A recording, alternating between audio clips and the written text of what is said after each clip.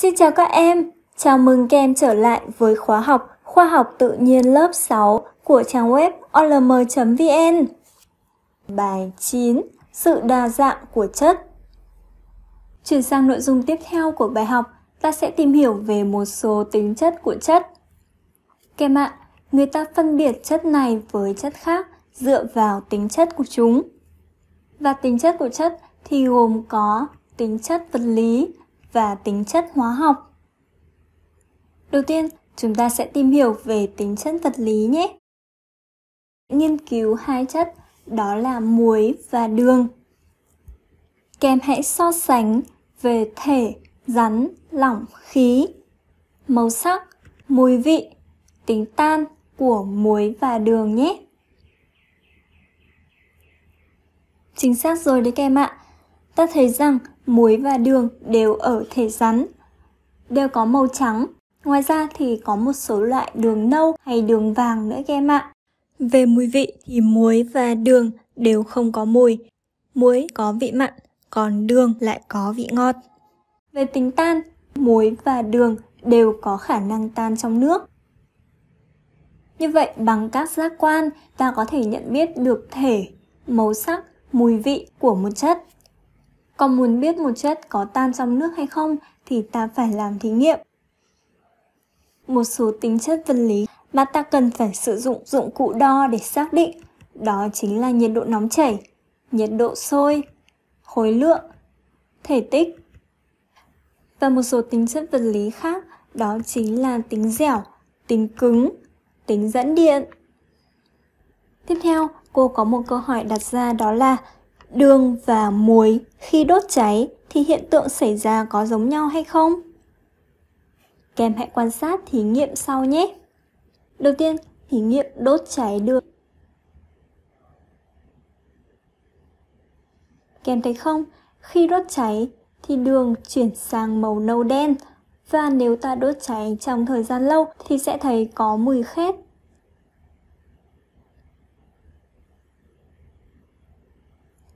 Bây giờ, các em hãy quan sát thí nghiệm đốt cháy muối ăn.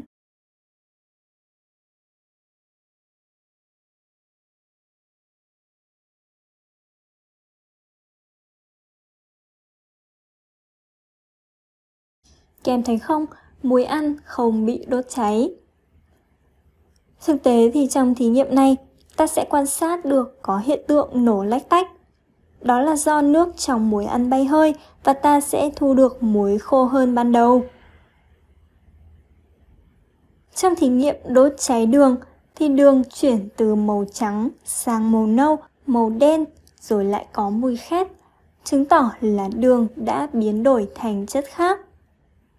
Còn muối ăn dù bị đốt cháy thì cũng không có sự biến đổi thành chất khác. Như vậy ta thấy rằng các chất có khả năng biến đổi thành chất khác và tính chất này được gọi là tính chất hóa học. Kèm nhớ rằng là trong biến đổi hóa học thì chất đã biến thành chất mới.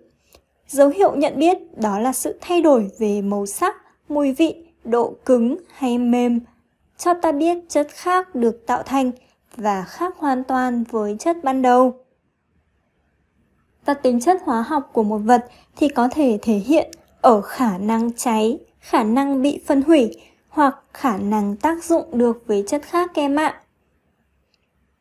Như vậy ta thấy rằng trong hai thí nghiệm này thì khi đốt cháy đường chuyển màu nâu đen có mùi khét, còn muối ăn không bị biến đổi, chứng tỏ đường và muối có tính chất hóa học khác nhau.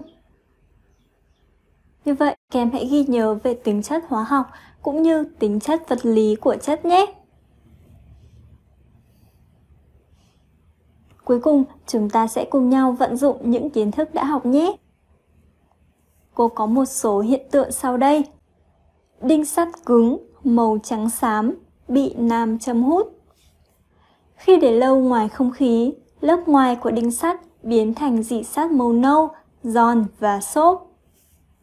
Khi cho viên sấy sủi vào nước thì ta thấy nó sủi bọt. 5 lít dầu ăn nhẹ hơn 5 lít nước. Sưởi bằng bếp than trong phòng kín là rất nguy hiểm. Khi nấu canh cá, ta thường cho chất chua vào. Các hiện tượng này thể hiện tính chất vật lý hay tính chất hóa học của chất. Kem hãy cho cô biết câu trả lời nhé. Kem đã làm rất tốt rồi đấy. Ta có hai hiện tượng thể hiện tính chất vật lý của chất và bốn hiện tượng thể hiện tính chất hóa học của chất. Đinh sắt cứng thể hiện tính cứng. Tính chất này thể hiện màu sắc của chất. Và bị nam châm hút thể hiện tính chất từ. Hiện tượng này thể hiện tính chất về khối lượng của chất. Khi ta để đinh sắt lâu ngoài không khí thì lớp ngoài của đinh bị oxy hóa và biến thành dị sắt đấy các em ạ. Khi cho viên xê sủi vào nước thì ta thấy viên sủi tan ra, đó chính là tính chất vật lý. Tuy nhiên, ta lại thấy có hiện tượng sủi bọt thì đây chính là tính chất hóa học. Bởi vì trong xê sủi thì có một chất mà khi gặp nước thì nó sẽ tạo ra một loại khí và khí sẽ thoát ra khỏi cốc nước dưới dạng bọt khí. Ta tuyệt đối không nên sưởi bằng bếp than kem ạ. Bởi vì khi ta đốt bếp than thì sẽ sinh ra một loại khí rất nguy hiểm. Khí này kết hợp với hemoglobin trong máu ngăn không cho máu nhận oxy và cung cấp oxy cho các tế bào, từ đó mà có thể gây tử vong cho con người. Và khi nấu canh cá thì người ta thường cho chất chua vào, bởi vì axit có trong chất chua thì sẽ giúp làm giảm vị tanh của cá. Qua câu hỏi này, các em có thể thấy rằng mọi vật thể xung quanh chúng ta thì đều thể hiện các tính chất vật lý hay tính chất hóa học của chất. Các em hãy chịu khó quan sát và tìm ra các tính chất đó nhé. Tổng kết lại trong bài học này, chúng ta cần ghi nhớ những nội dung sau.